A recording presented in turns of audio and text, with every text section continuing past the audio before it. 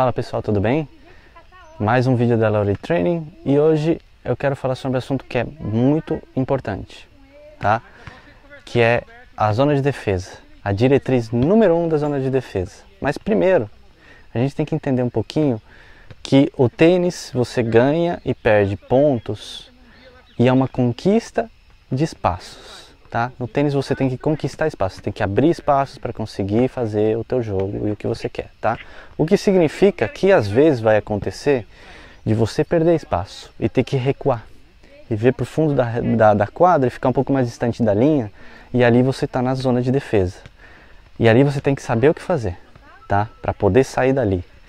Então, o que, que você faz quando a pessoa te joga para trás? Diretriz número um é buscar cruzada funda, tá? De repente um pouco de altura da rede, é sempre bom. Mas é sempre buscar uma bola cruzada para ganhar tempo e funda, para você não você impedir que a outra pessoa ganhe espaço para dentro da quadra e te faça correr cada vez mais e mais e mais e você acaba perdendo ponto, tá?